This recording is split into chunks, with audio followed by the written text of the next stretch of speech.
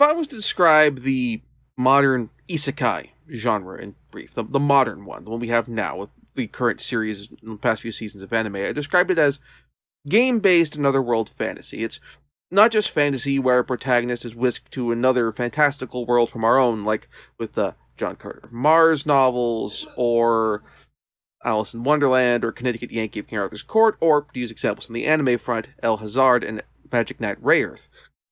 This is fantasy where the characters are explicitly in a world that draws inspiration from games, from gaming.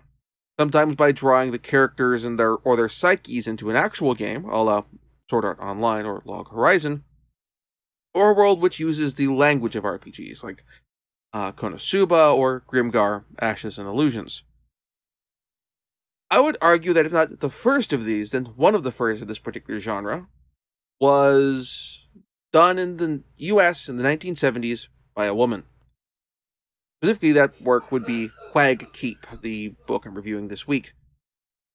And this is the other work of our licensed gaming books or tabletop role playing related uh, books. So, Quag Keep comes from Andre Norton, whose real name is Alice Norton. Norton published under a male pen name because she got her start writing in the 1930s and continued on into the 80s. And when she got started, she was there was a significant amount of institutional misogyny in the publishing industry, particularly when it came to genre works, speculative fiction, and that sort of thing. Um, that made it hard for women to get published into SF under a female name.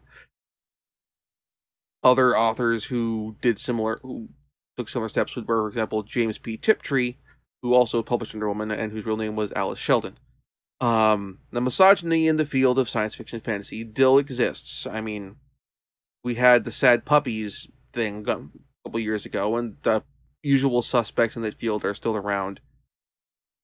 Um, but the misogyny feels like it's shifted some. It's still it's still there. There, there's still misogyny, but it's not like a publisher is going to turn down a work by a female author because they submitted their work under a female name. They that the misogyny instead feels like it's more moved to the general societal background radiation as opposed to a constant um where it's it's there but it, it's not at the point where it stops people from entering the field in the first place. Um in terms of writing and getting a publisher to return your calls or to look at your manuscript.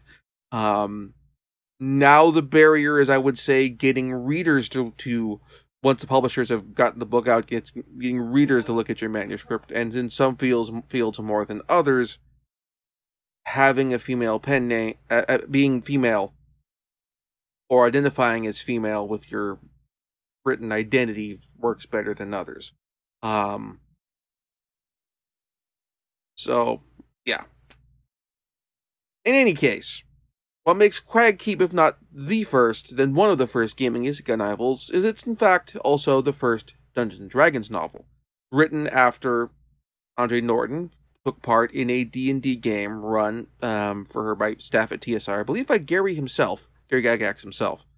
Um, the group follows a, well, the, the book follows a group of D&D players who are whisked into the world of Greyhawk through a series of magical figurines, and their con- puts their consciousness in the minds of the characters depicted in those figurines, with the minds of the original players and the minds of the characters, the adventurers, shifting in dominance over the course of the story. That said, once we get into the world of Greyhawk itself, and it is definitely the world of Greyhawk, loads of name checkings for various locations within the Greyhawk campaign setting. The um, the city of Greyhawk itself, um, Blackmoor, you name it. Um, we don't like the later introductions are less heavily name checked. We don't know talking about the Scarlet Brotherhood, Iuz, um, that sort of thing. But and also it's a very much definitely a first edition, a D and D basic slash original D and D description where you have where the alignments are law and chaos, not good or evil. Though there is also the implication that law is good, chaos evil. Um, also, we have a, one of the characters in the party is a lizard man, um, which is, I mean, like, yes, you have, uh, you get Draconians and Dragonborn in later editions of Dungeons and Dragon, but you don't have a straight up lizard man needs to be in water, that sort of thing, um, situation as a playable character right out of the gate in the core book. Even now, maybe maybe they've got that in Pathfinder Second Edition. I don't have my copy of the core rules yet, um, but nobody like sticks that in the book right out of the gate. So there's that. But once we get inside there and we've fleshed out our and we talked about the world we're in and our characters, there's not much depth to the actual story. The band of adventurers are bound by a geas, or geese, I believe it's the proper pronunciation, to travel from the city of Greyhawk to the titular keep, though they don't know that they're going to the titular Quag keep. Quag, by the way, being swamp, so they're going to Swamp Castle, effectively. Across a variety of terrain, forests, mountains, um, desert, like a particularly the uh, Sea of Dust. Um, they have to actually like one of the big things they ran into is okay, this is not just like a Sahara desert type scenario. The the dust is very much sea of dust is very much liquid and is consistent to sea, and they have to contend with that and find a way to overcome that. Um, all this time facing dangerous opponents across the way, um, dragons, other humans.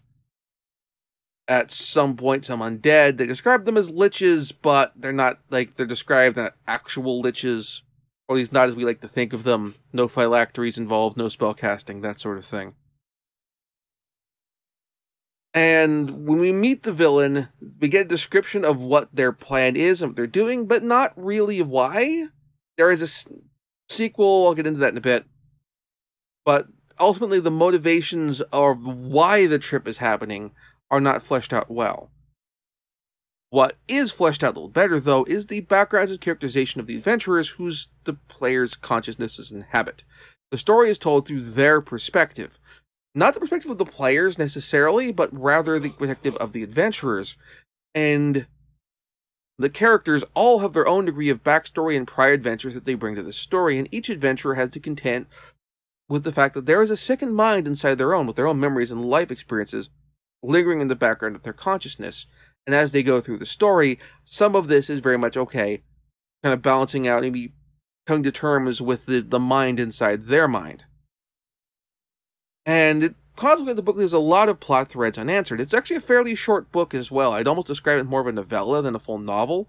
Um, and it leaves hooks for a sequel that we got later in Return to Quag Keep, which is also sadly one of Andre Norton's last novels, but that's a topic for a later review. I did enjoy the book. Um, it's and it's definitely a, moderately short read. Um, I was kind of going through it on my lunch breaks, and it didn't take too long to go through. It, it's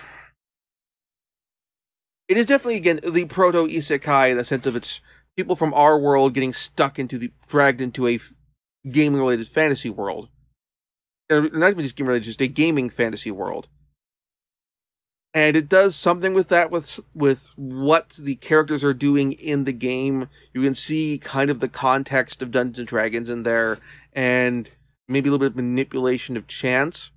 But the isekai part of our like making it what makes it the difference between a gaming fantasy and a gaming another world fantasy comes up not as much as I'd like. Um, it is entirely possible from the sounds of things, likely that Return to Quag Keep will push more heavily into okay, one of the people from our world, what's happening with them.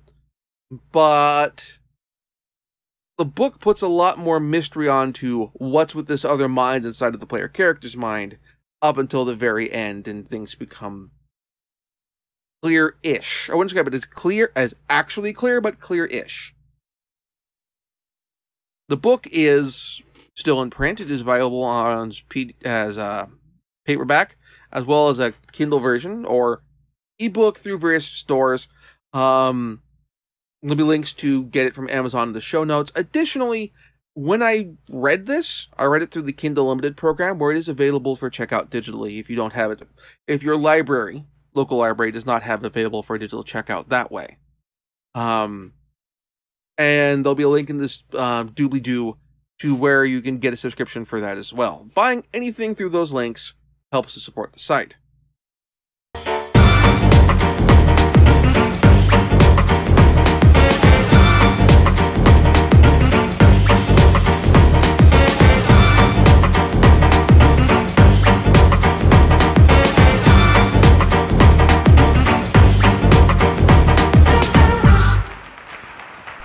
Thank you very much for watching. If you enjoyed the show, please like and subscribe. And also consider backing my Patreon. Patreon backers get episodes up to one week early of this show and any future Let's Plays.